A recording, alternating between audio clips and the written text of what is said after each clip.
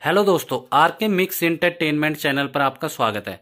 दोस्तों, आज इस वीडियो में मैं आपको सितंबर 2020 में जो व्रत, पर्व, जयंती वगैरह हैं, ये किस किस तारीख की हैं किस किस वार की हैं, इससे जुड़ी सारी छोटी बड़ी जानकारी देने वाला हूँ। मगर दोस्तों, आगे बढ़ने से पहले यदि आप मेरे चैनल पर नए हैं तो सब्सक्राइब बटन को दबाकर मेरे चैनल को सब्सक्राइब करें और न्यू नोटिफिकेशन के लिए बेल आइकन पर क्लिक करें ताकि आपको ऐसी ही वीडियोज़ टाइम टू टाइम और सबसे पहले मिल सके। दोस्तों, सबसे पहले तो मैं आपको बता दूँ कि ये विक्रमी संवत 2077 चल रहा है और भाद्रपद शुक्ल 14 से आसवनी शुक्ल 14 तक है और राष्ट्रीय साके 1942 भाद्रपद मास 10 से आसवनी मास 8 तक। और जैन जो होते हैं, जैसे जैन समुदाय जो होता है, उसमें जैन संवत पच्चीस भाद्रपद शुक्ल 14 से प्रारंभ हो रहा है और आसवनी शुक्ल 14 तक है। और इस्लामी जो हमारा धर्म होता है, इसमें इस्लामी हिजरी 1442 मुहर्रम 12 से सफ़र 12 तक। ये मतलब जिस जिस धर्म के हैं, उससे रिलेटेड सारे इसमें कौन सा सन, कौन सा जो जो हमारा नॉर्मल कैलेंडर होता है, ये तो हमारे सब दुनिया में चलता है, वो वाला कैलेंडर है। एक जो हमारे जैसे हिंदू, मुस्लिम या जैन के हिसाब से चलता है, वो साल वगैरह ये बताए गए हैं। अब दोस्तों मैं बताता हूँ व्रत, पर्व और जयंती जो जो पड़ेंगी इस महीने में। सबसे पहले एक तारीख की अनंत चतुर्दशी है और पूर्णिमा व्रत, कदली व्रत, श्राद्ध प्रारंभ हो जाएँगे। श्री गणेश मूर्ति विसर्जन है। तो दोस्तों ये हमारा पड़ रहा है मंगलवार का।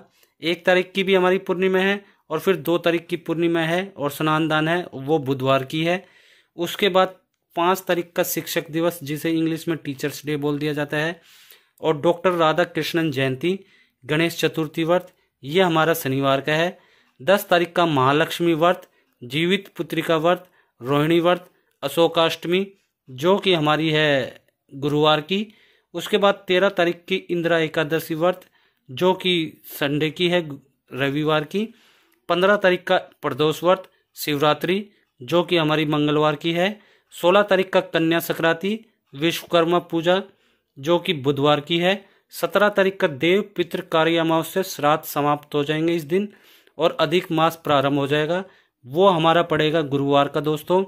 और बीस तारीख की गणेश चतुर्थी है मासिक वाली। बीस तारीख का हमारा रविवार है। चौबीस की श्री दुर्गा अष्टमी मासिक वाली। चौबीस का हमारा है गुरुवार दोस्तों।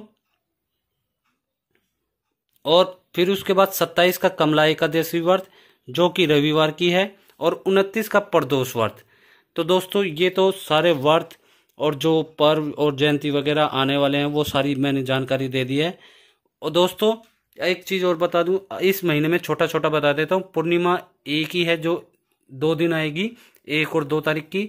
अमावस सत्रह तारीख की है, सकरात जो महीने वाली होती है वो सोलह तारीख की, एकादशी दो आ रही है, तेरह और सत्ताईस तारीख की, चतुर्थी आठ और बीस तारीख की है सॉरी पाँच और बीस तारीख की है और प्रदोष पंद्रह और उनतीस तारीख के हैं।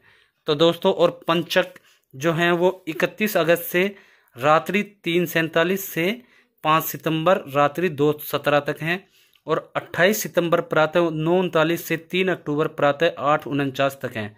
तो दोस्तों, इस महीने में कोई व्रत शादी विवाह का वो नहीं है, मुहूर्त नहीं है, इसलिए इसमें वो डेट्स नहीं बता रहा मैं दोस्तों।